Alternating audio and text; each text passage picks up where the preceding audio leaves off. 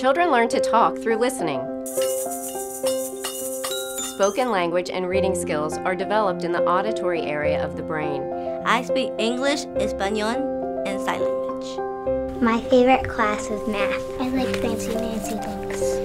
I like to ride the tractor with my dad. Research from the National Institutes of Health suggests that the most important time in a child's life to develop speech and language is in the first three years.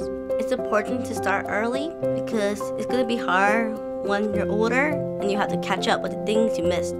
The goal of the newborn hearing screening program is to identify hearing loss by one month of age, diagnose hearing loss by three months of age, and begin the use of hearing aids and early intervention services by six months of age. One, two, three, four, five. Following current research, Johns Hopkins recommends early cochlear implantation as early as 10 to 12 months old. I was 18 months old when I got my cochlear implant.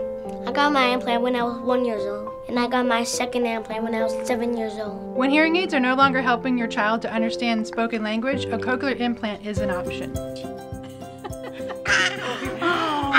With cochlear implants, a deaf child can hear even the soft sounds in spoken language. We have seven cochlear implants in our family.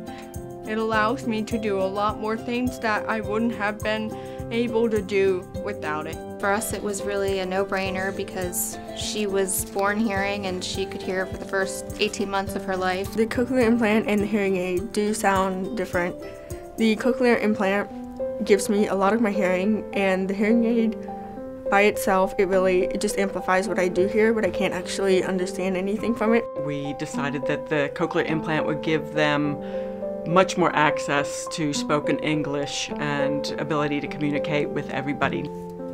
Following cochlear implantation, weekly family centered listening therapy is associated with the best language and learning outcomes. Well, I learned that my role in therapy was to learn from the experts that were teaching my daughter how I could continue to teach her throughout the rest of the day. There's a lot of therapy involved, but if you do it up front, it pays off in the long run. When I grow up, I want to be a realtor. A naval engineer.